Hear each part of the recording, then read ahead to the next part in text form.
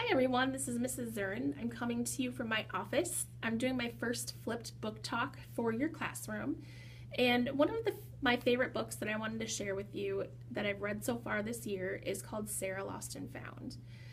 I need to read books that are exciting from the beginning and make me want to keep reading. So that's why I want to share some of these books with you is because I know how that feels. Um, I don't always, I haven't always enjoyed reading. And so that's why I am a media specialist because I want to find books that fit you and I want you to enjoy the books you read because that's what makes reading fun and interesting. So, like I said, my first book is called Sarah Lost and Found. And it's really an awesome book if you like problem novels. Um, it's realistic fiction, it could really happen to someone. So, what happens in this story is that there's two girls who are trying to survive, trying to survive life in general. Um, their mom left when they were young, they don't know the reasons why. Their dad is very sad about their mom leaving and has become an alcoholic. Um, his, their dad is also a drummer in a band, so he's gone late at night and sometimes doesn't even come home. So these girls, ages 10 and 12, are, are left to fend for themselves. Many of you probably have parents that take you um, out to eat. Uh, they make you good dinners. Even if you have one or two parents, those people try to really help you and help you to survive and, and help you to um, be happy.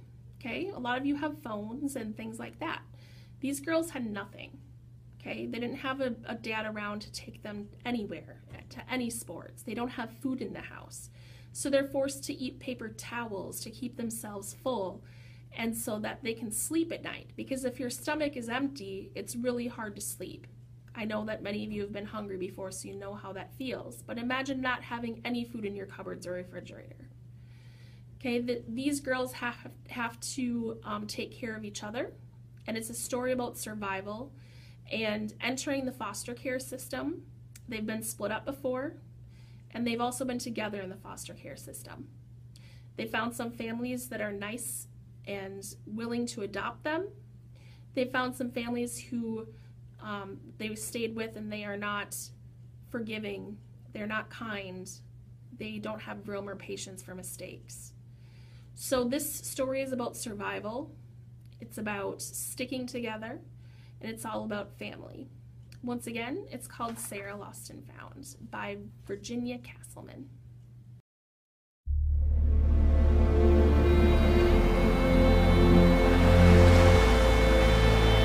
What a group we were. All of us hunted and haunted by tragedy. all of us begging for a chance at a new life.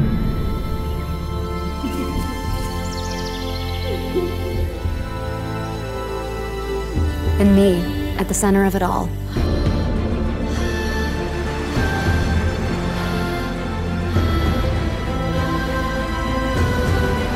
We were strangers until we became family.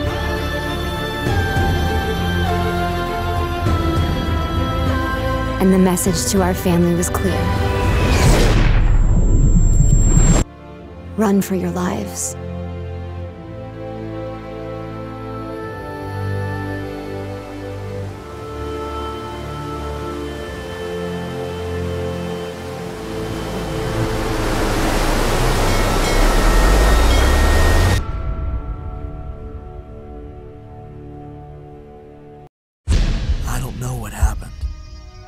Was just an ordinary kid. A good student. A black belt in karate.